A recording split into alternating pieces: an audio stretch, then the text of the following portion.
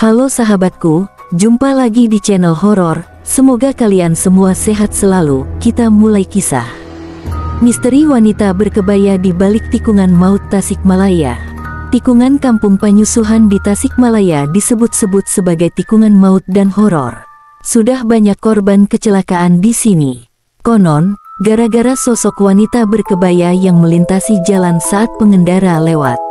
Tikungan maut itu berada di Desa Pakemitan Kidul, Kecamatan Ciawi, Kabupaten Tasikmalaya. Tikungan ini pun menjadi mimpi buruk bagi pengendara, khususnya pengguna roda 2 dan roda 4. Tikungan ini banyak memakan korban dan telah membuat resah masyarakat yang kerap melintasi tikungan tersebut. Yang terbaru, seorang pengendara sepeda motor masuk ke jurang setelah tidak bisa menaklukkan tikungan Ciawi tersebut. Video rekaman CCTV yang merekam detik-detik pengendara itu terjun ke jurang pun viral. Warga sekitar mengaku sudah tak terhitung lagi berapa banyak kecelakaan lalu lintas terjadi di tikungan itu. Sudah sering, sudah tak terhitung banyaknya kejadian kecelakaan di tikungan ini. Bukan hanya yang videonya viral saja, kata pemilik warung yang berada di dekat tikungan Panyusuhan. Misteri perempuan berkebaya Tikungan maut itu pun menyimpan kisah misteri.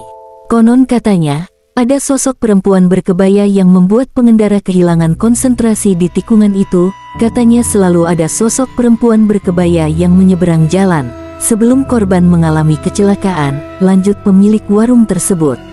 Pengakuan korban kecelakaan sosok perempuan berkebaya itu yang menyebabkan mereka kecelakaan, tidak diutarakan oleh satu dua orang korban. Banyak yang celaka di sini mengaku melihat wanita kebaya itu menyeberang, sehingga mereka berusaha menghindar dan akhirnya mengalami kecelakaan. Meski demikian pemilik warung tersebut mengaku tak mengetahui persis siapa sosok perempuan berkebaya itu, tapi pengakuan korban-korban kecelakaan banyak yang menyebutkan sosok wanita itu. Banyaknya korban jiwa yang meninggal dunia di tikungan itu, tak heran membuat tikungan itu mengerikan. Sepanjang tahun ini, pemilik warung tersebut mengingat jika kecelakaan yang terjadi di tikungan Ciawi sudah beberapa kali terjadi. Seingatnya, ada lima kejadian yang disebabkan karena horornya tikungan Ciawi itu. Yang tahun ini saja ada mobil Grand Max masuk jurang, truk tronton pengangkut air mineral juga masuk ke jurang, tabrakan motor laga kambing, mobil bak menabrak rumah, anak sekolah yang bawa motor mule juga masuk ke jurang.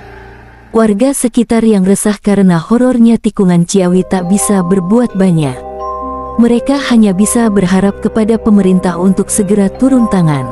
Tujuannya agar tidak ada lagi korban yang diakibatkan karena curamnya tikungan Ciawi, atau memanggil paranormal untuk menyelesaikan masalah wanita kebaya. Mungkin wanita itu ada dendam atau dia meminta tumbal. Rambu-rambu lalu lintas, hingga fasilitas penunjang keselamatan di jalan raya, jadi hal yang diinginkan oleh warga dan berharap bisa terpasang di tikungan Ciawi. Sebab selain curam, tikungan itu juga terbilang gelap karena minimnya lampu penerang. Terima kasih telah menonton, jangan lupa subscribe, like dan komen. Sampai jumpa lagi di kisah horor berikutnya.